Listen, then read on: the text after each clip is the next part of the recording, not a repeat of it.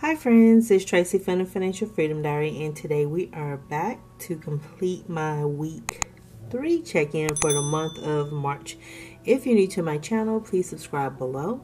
I consider a week from Sunday to Saturday and so for me this is wrapping up the third week for March. I don't have any plans for today, so I'm going to go ahead and call Saturday a wrap. I have a lot of work I need to do. So let's jump into my transactions. I hope you all are, you know, doing well today. It has been a busy week, y'all. Busy, busy, busy. So for laundry, I broke a 10. And then from there, I went to Walmart this is really one transactions, the groceries and the household at Walmart, but I can split those up. So in groceries, I bought $43.34. In household supplies, I paid $21.99. I cannot remember what I bought for household. Whatever it was, I thought it was important. and then um, at the end of the trip, we had to go to CVS and household supplies and it was 656 now I do remember this. This was the um, you know the little pocket Kleenex. I needed some of those. I like to have some in my car and I didn't have any. And then I also on groceries for Aldi I spent $20.44 um, I from Walmart this week I tried to do something that's a treat for my sons. Um, they like beef tips and rice. Some reason they don't like it with noodles. I don't know, but they're weird. I guess I shouldn't have said that, but you know, they are. They, they, I don't know. but they wanted that with rice, and it's one of those. I can eat a hamburger every once in a while, but I can't do beef like that. make my stomach hurt. So let's add up the groceries was 43.34 plus $20.44 and so I spent $63.78 total for groceries for the week. And so if you're new to my channel and you're wondering how I keep my grocery bill so low I don't pay for my son's snacks. They are responsible for buying the snacks. If I had bought their snacks, um, I wouldn't have any money. $300 wouldn't do it. I don't know if it would make it for one trip. Okay, so me put all this together so I can see how much money I got left. Ooh, I'm to have to do some math. Got all these ones. Okay. So I had 181 left over. I spent 63.78. So I should have 117.22. It's 50, 70, 90,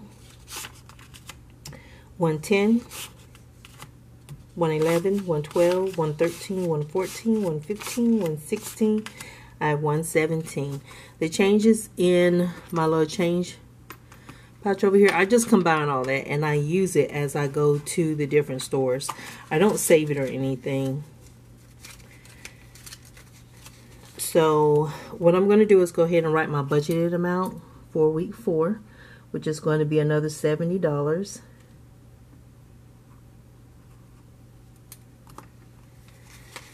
And so this is what I'm going to work with. And all of this is what I'm going to put up because you guys know I tried to save $60 from my cash envelopes total. And this helps me with that. I got a coupon. I've been carrying this thing around. I have to remember to pull it out and use it. I think I've relegated it to money holding. I don't know what I am doing. But yeah the paperclip helps helps hips helps me from um, touching that money back there. Lets me know that's the boundary. No spending. Okay. So we got 117. Let's put that here. Now, the next thing for restaurants, I didn't spend anything. And I had $40 last week. I should have $40 now. Been waiting on them to come into the apartment. They got to do something. 20, 40. Been waiting all week. They're going to come on a day when I'm just like, I don't want to be bothered. So I'm going to come off as being like a grouch. So for laundry, I spent $10. I had $35 minus 10. I should have $25 left. Look at that ugly too. Where's my white out? This is like an every Saturday thing. And then I get so frustrated. Put you right there. I don't know why I can't make it too early in the morning. I'm going to go with that kind of two. because I can't do it the other way. Um, so I should have $20 left in my laundry envelope. 25 God dog it. Man. Okay, $25. I'm sorry. I just ticked myself all the way off. God, hey, come on. It's too early for this. I hope my neighbors can't hear me.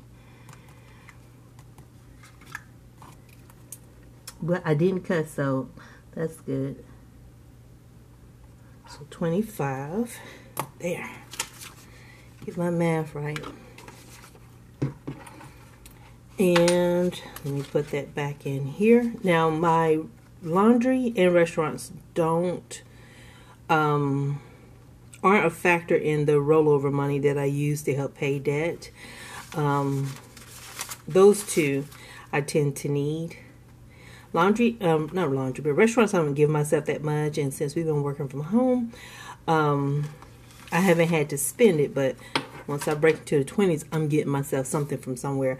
I think I'm getting catfish or something like that. Something that I don't need that's going to make my stomach hurt. Um, household. I budgeted 25. Well, I can look at that until I went over 25. So 21.99 plus 656.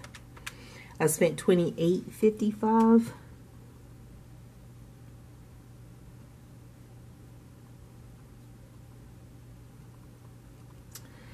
And I had $50 last week.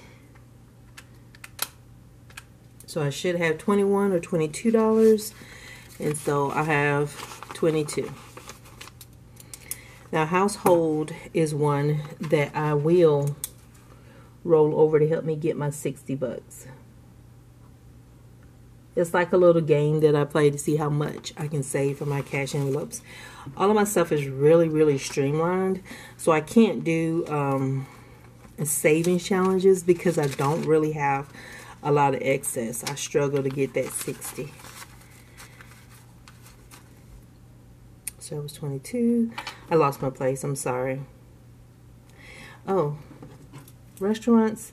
I'm not going to budget anything for restaurants next week. Laundry is another 10. Household. I don't think I need anything. Because I got detergent and some other stuff. Do I need anything personally? I'll leave personal blank until I figure out if I need anything. So for personal this week, I didn't buy anything. Let's get that out of the way. I didn't get anything in the personal category. So I had $31 left over. So I should have $31.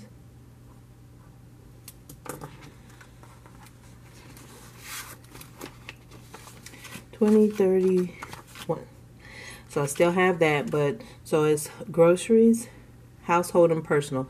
It's those three categories that I try to get a minimum of $60 saved from my cash envelopes. Um, and anything over is just a little bit more that goes to my debt. It may seem small to some people, but if you add that up, that I do that every month, just doing the bare 60, it's an extra $720 per month. Now, most of the time, I'm able to get over 60 so it's more than that that I actually can add to my student loan debt or whatever debt that I was paying at that time. I don't know if I need anything. I just was thinking about it. I don't know. So I'm going to still leave that uh, blank until I can figure if I need anything because sometimes I'll figure it out once I wash my hair and blow my hair out. Uh, I may need ponytail holders, but I don't think I need any of those. Do I need any more headbands? because that's what I stretch out. Hmm. I'll just do $10 um, because I may need the little stretchy headbands. Alright, so let's go back to the calendar view and let's document our no spends. I have a lot of work I need to do today. So I know I am going to be sitting right at home. I also need to clean out my car today.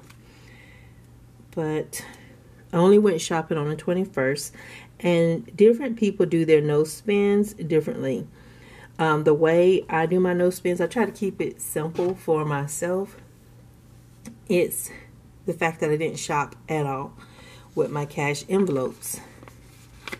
Now, if you see I'm paying bills, that's not me spending from here because this is where I had the problem uh, once I got my budgeting and stuff started, spending up all my cash like early in the month and not having much towards the end of the month. But others, their no spend days may be overspending. Like they had their budget, and so if they went over, that doesn't count as a no spend. But the rules are up to you for how you want to do your no spend days. I just try to keep my happy self out of a store because just browsing ends up being I have a basket full of stuff. Okay, and let's put this down. And oh, I got my March kit in the mail, so yeah, I knew they were holding my stuff hostage. I knew it, I knew it, I knew it. there. So I got six no spends for the week. And so that is, I'm sitting here looking, I'm like, what is this? so it's uh, 24 no spends so far. So I got three more that I can get next week. I'm getting pretty good at this. I need to start trying to see if I can reduce the number of times that I go to the grocery store. But yeah, my goal for the month is 27. There's something else that's nagging me and I found out what it was. I need to section this off. So that way you guys can see the difference in my transactions. So I've been thinking for April, I have my April kit. So I am going to just set up my planner to do my weekly check-ins and the calendar because I think this is pretty. Um, this page, my dashboard, I won't do this page. These two pages will go for April, will be what I put in here for April. Not these two. I'm going to use the Budget by Paycheck book in April. And then these two. I need to check, but maybe these two and then that might be it as I transition out. But anywho, thank y'all for watching. I hope you have a super fantastic day. Enjoy the sunshine. And I will talk to you guys tomorrow. Y'all have a great one. Bye.